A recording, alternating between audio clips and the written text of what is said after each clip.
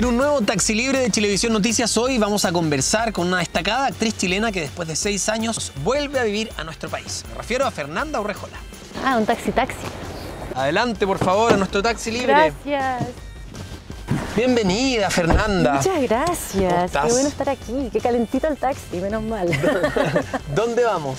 a renovar licencia, por favor. A renovar licencia. O sea, volviste con todo. Volví con todo.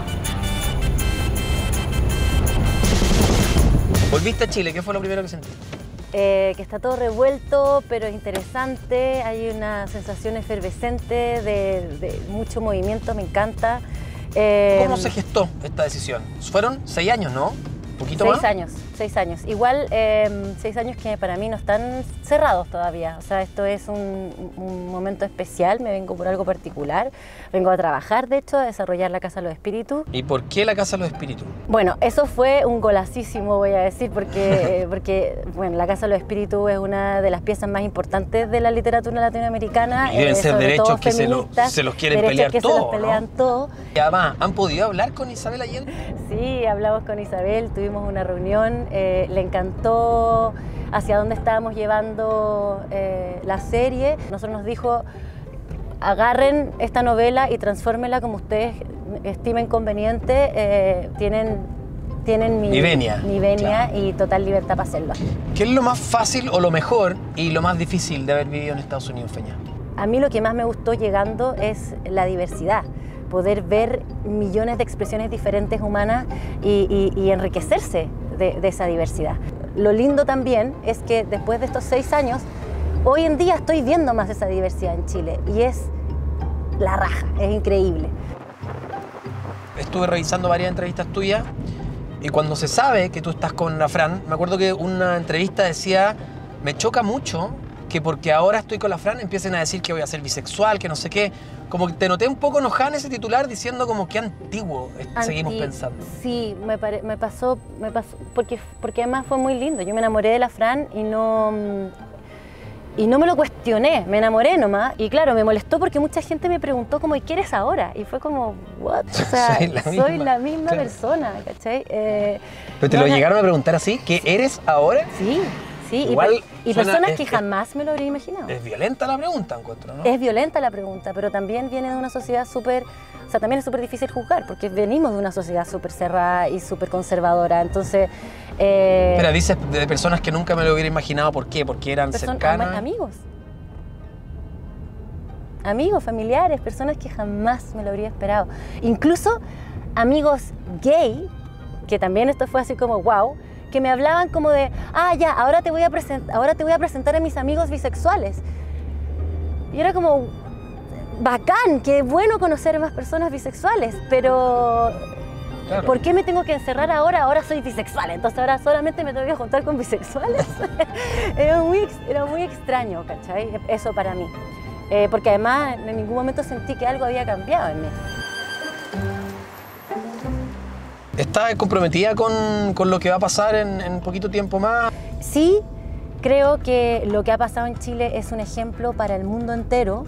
Entonces sí me encantaría que, que aprobáramos y sí me encantaría que, que este proceso siga, siga su curso. Pero también entiendo que eh, hay que escoger por lo mejor para todos y, y hay que hacerlo con conciencia. ¿Sientes que está polarizado? ¿Lo, lo has sentido en tu círculo, por ejemplo? ¿Familiar, amigo? De... súper polarizado, porque veo mucha gente con miedo y veo también la campaña del terror y esa como constante, eh, como hacer las cosas difíciles, ¿no? complicar un poquito el terreno para que haya confusión, lo veo también muy claramente hoy y, da mucha pena. Oye, hablemos un poquito de, los triunfos porque, mm, porque bueno, ayuda, es, es lindo además. Vi hace poco, hace poco vi Cry Macho, la última, la, la película de Clint Eastwood. Eh, y te toca hacer un papel intenso, con toques de locura.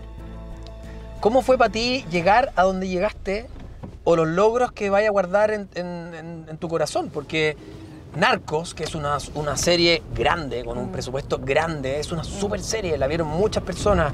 Eh, estar en un living, porque hay una escena, yo no sé ni un spoiler, pero hay una escena que está en un living con Clint Eastwood. Yo no sé si es más importante la película o la escena que el hecho de estar con Clint Eastwood en una misma sala. ¿cachai? No, y te lo amoroso que fue conmigo además, como que yo no lo podía creer. Eh, pucha, sí, pues checks, varios checks. Yo estoy muy orgullosa de mi decisión, a pesar que fue súper difícil y, y me gusta decirlo para que no todo el mundo crea que es como, ay, te Llegar y vas, abrazarse, bacán".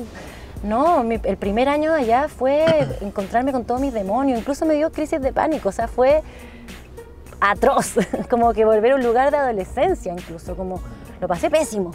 Eh, pero, pero crecí un montón y fue muy, muy bueno para mi carrera en general.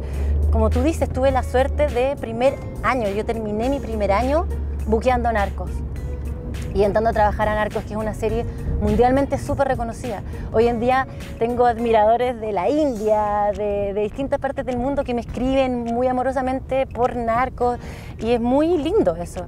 Y eso me abrió también las puertas, porque es una industria súper jerárquica, a tener, a ir mejorando mi team, mi, mi equipo y poder acceder a otras otros películas proyectos. y a otros proyectos. ¿Cómo se dibuja el futuro de Fernando Rejola? ¿Cómo lo ves tú?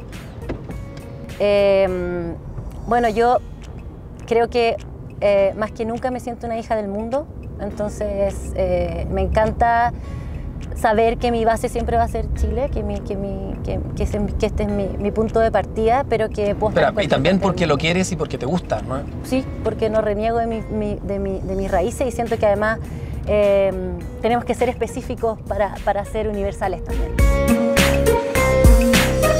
Y en términos personales, eh, ¿tienes metas por cumplir? No sé, ¿te interesa o, o has pensado en algún momento en casarte o es un tema que ya no, no aparece dentro del- de los cuestionamientos? Nosotros nos reímos, ya no somos porolas, somos prometidas. Eh, Prometidas. sí, nos vamos a casar, eh, sobre todo ahora que es legal en Chile, así es que eso también fue hermoso poder ser parte de ese proceso. Eh, Ah, pero eso ya está listo, yo no sabía, mira qué lindo. Sí, nos vamos a casar, eh, te llegará el parte en algún momento.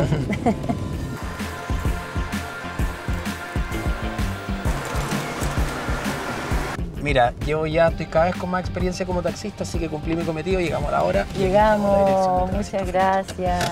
Y como siempre y nuevamente, haznos sentir orgullosos. Gracias por. Muchas, muchas gracias. Chao, Toti. Chao.